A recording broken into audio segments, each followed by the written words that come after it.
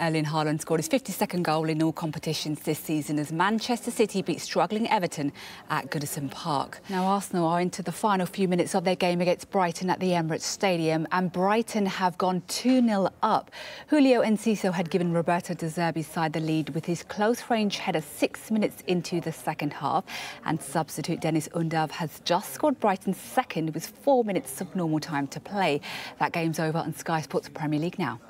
I think there certainly will be an element of concern, not necessarily about the entire performances against Brentford and Manchester United, two games, of course, which ended in draws for Chelsea, but the fact that Chelsea did not put away enough of the chances that they created in both of those matches. Well, Jurgen, after the highs of the 7 0 win over Manchester United at the weekend, how would you sum up that performance?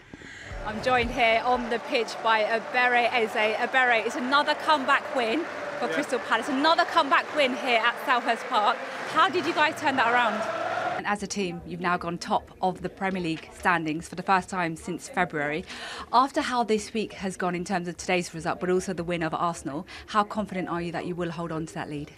The team news has landed here at Stamford Bridge as Chelsea host Nottingham Forest in the Premier League and Frank Lampard has made no less than five changes to the side that went to the Vitality Stadium last weekend and beat Bournemouth 3-1. the big news from Chelsea's point of view is that Edouard Mendy returns to the starting lineup in place of Kepa Arrizabalaga who is on the bench. Yeah, it is just the one change uh, for Marco Silva here today from the team that, of course, uh, did that smash and grab job at the Amex Stadium last week and beat uh, Brighton. Carlos Vinicius comes into the lineup to replace Harry Wilson. And talking about yourself, you set up Coady for his goal. That's your fifth assist in your last four games, and everyone's talking about your new midfield hybrid role. How much are you enjoying that role?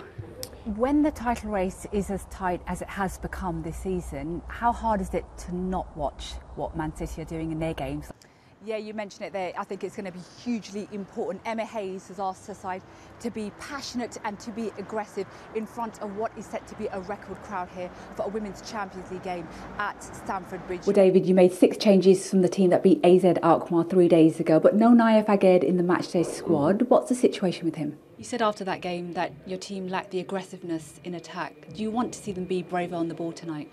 Yeah, absolutely. I could start off with the fact that I have actually run from the training ground to the Red Bull Arena. I have uh, gotten some cover here from the rain, which is quite heavy um, in Austria right now. But yeah, you mentioned it. Kalidou Koulibaly didn't train with the Chelsea team at Cobham earlier on today. He, of course, picked up a knee injury uh, in that draw against Brentford last week. David Moyes had decided to stick pretty much with the team that got that crucial victory. Let's have a look at the starting lineup uh, for West Ham because it is just the one change, and that change sees Antonio come in for Danny Ings, who is on the bench. So just a change up front for West Ham. What was interesting, obviously, he's come back from a serious knee injury, which has kept him out since last November. So he has been out for a long time. He did struggle in that first game against Everton I think Thomas Tuchel talked about it afterwards as well. what was interesting from my point of view was just to find out what he feels about the competition of Marc Cucurella coming in for a big fee as well.